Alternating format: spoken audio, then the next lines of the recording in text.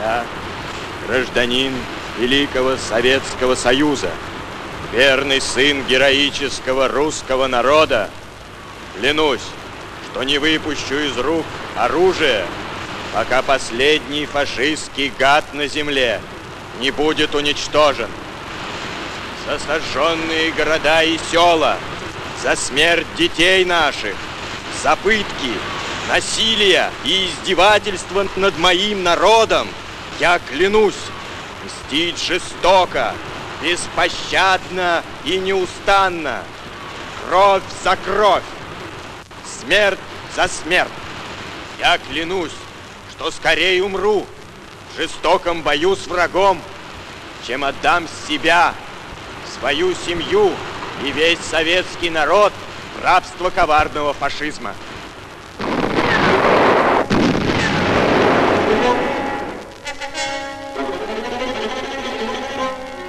Имена многих партизан и подпольщиков знает теперь вся страна. Юноши и девушки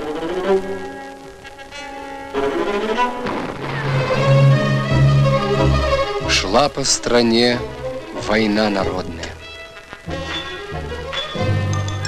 У партизан поначалу почти не было мин, не хватало взрывчатки, и они проявляли поистине чудеса смекалки.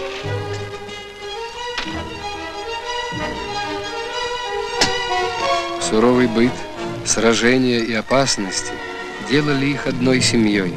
И своих вожаков партизаны Украины и Белоруссии называли тепло по-семейному, батьками.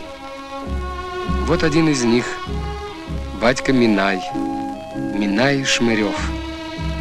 Одно его имя наводило страх на фашистов.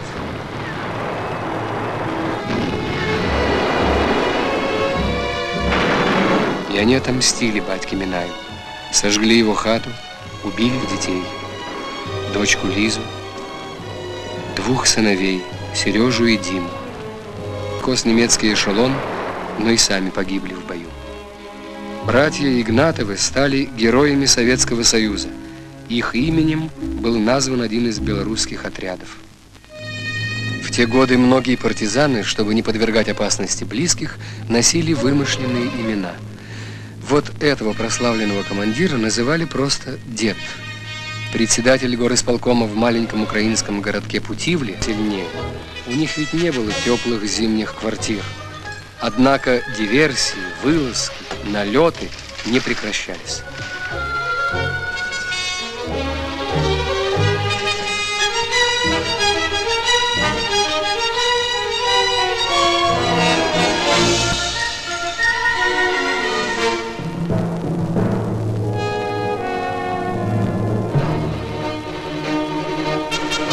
Опасность поджидала оккупантов на каждом шагу. Она проглядывала из-за каждого дерева, из-за каждого куска.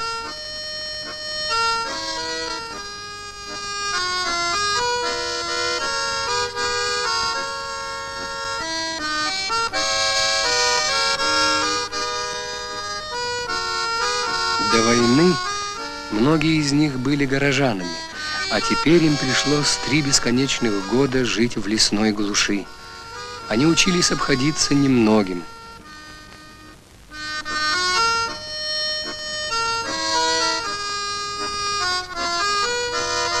охранных дивизий и один горнострелковый корпус.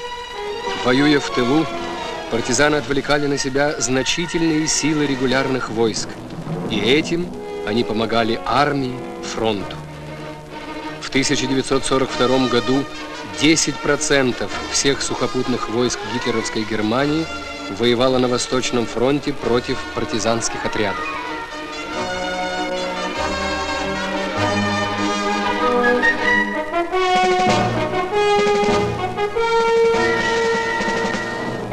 Была восстановлена советская власть.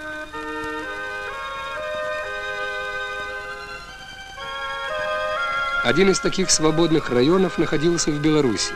Его называли Рудобельская партизанская республика.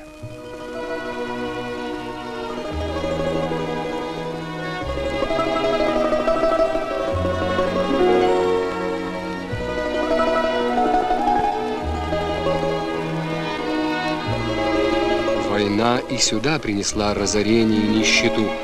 Но как бы ни было трудно, партизаны проводили здесь весенний сев. И как бы ни было трудно, учителя продолжали преподавать родную речь.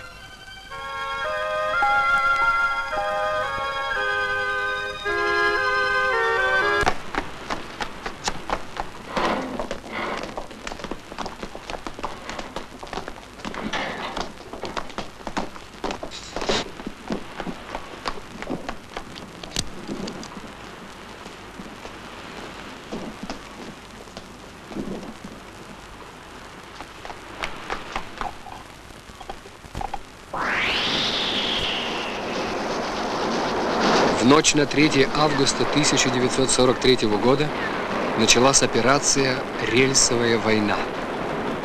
Партизаны одновременно нанесли сокрушительные удары на фронте в тысячу километров.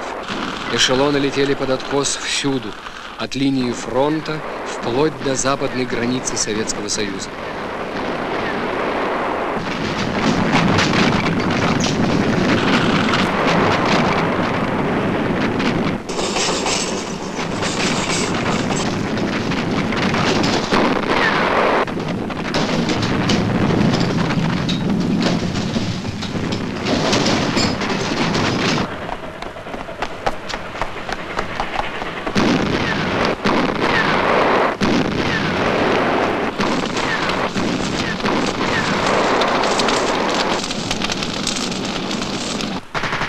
Тактика партизан.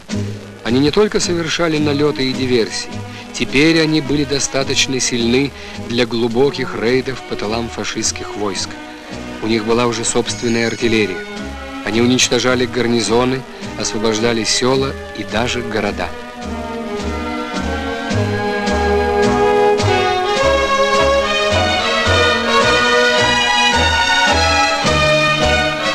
И в